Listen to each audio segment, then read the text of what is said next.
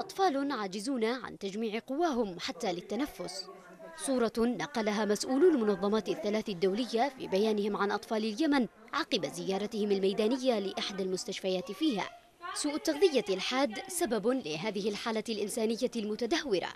فنحو مليوني طفل يمني يعانون منه.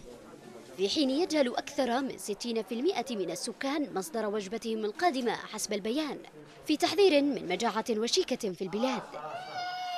البيان المشترك لمنظمات اليونسف والصحة العالمية وبرنامج الأغذية العالمي لم يخل من المفردات الواصفة لتدهور الحالة الإنسانية في اليمن والمقترنة بتقارير المنظمات عنها منذ أكثر من عامين.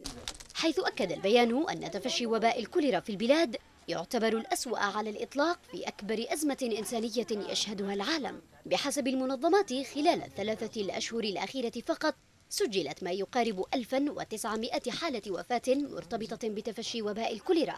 في حين بلغت الحالات المسجلة كحالات اشتباه بالإصابة 400 ألف حالة. لمضاعفة دعم المجتمع الدولي للإغاثة في اليمن جاء هذا البيان مذكرا بالمأساة الإنسانية التي تعيشها اليمن حيث وردت فيه معلومات تفيد بأن مرافق الصحة والمياه الحيوية التي أصيبت بالشلل خلقت ظروفا مثالية لانتشار الأمراض. في حين أشاروا إلى أن أكثر من ثلاثين ألف عامل في مجال الصحة بلا رواتب منذ أكثر من عشرة أشهر.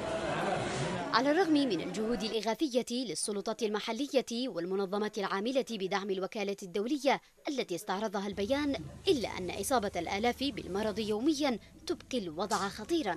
وفي حال عدم الاستجابة فإن الكارثة لن تستمر في إزهاق الأرواح فقط بل ستترك آثارا وخيمة لسنوات قادمة.